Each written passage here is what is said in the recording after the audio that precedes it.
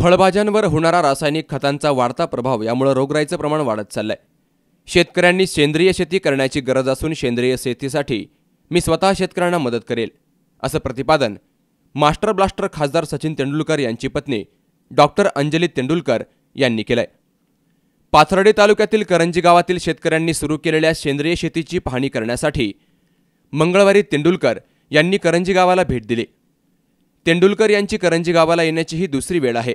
यापूर्वी देखील तीन महिन्यांपूर्वी त्यांनी करंजी येथील शेतकऱ्यांनी सुरू केलेल्या सेंद्रिय शेतीची पाहणी केली होती. आणि त्यावेळी दोनच शेतकऱ्यांनी सेंद्रिय शेतीचा प्रयोग सुरू केला होता. मात्र त्यानंतर जवळपास शंभर शेतकरी ही सेंद्रिय शेती करण्यासाठी पुढे आलेत.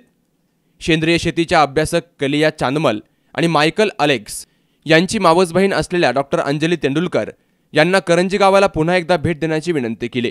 आणि त्यानंतर मंगळवारी दुपारी डॉक्टर तेंडुलकर यांनी करंजी गावाला दुसऱ्यांदा भेट दिली. यावेळी करंजी गावच्या सरपंच नसीम शेख माजी सरपंच संध्या साखरे कविता आव्हाड यांनी डॉक्टर तेंडुलकर यांचं स्वागत केलं. करंजी गावासाठी भारतरत्न खासदार सचिन तेंडुलकर यांनी वीस लाख रुपयांचा निधी मंजूर केला असून यापुढे देखील करंजी गावाला खासदार तेंडुलकर यांच्या माध्यमातून भरीव निधी देणार असल्याची ग्वाही डॉक्टर अंजली तेंडुलकर यांनी दिली आहे.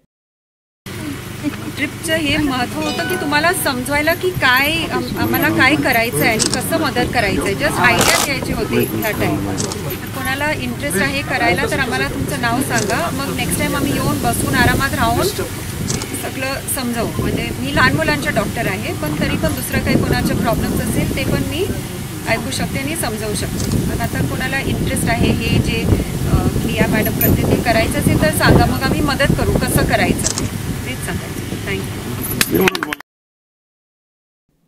आणि करंजी येथील शेतकऱ्यांनी सुरू केलेला सेंद्रिय शेतीचा उपक्रम निश्चितच प्रेरणादायी ठरेल असंही तेंडुलकर यांनी म्हटलंय. अमोल कांक्रियासह मुकुंद लोहिया सी न्यूज मराठी पाथर्डी.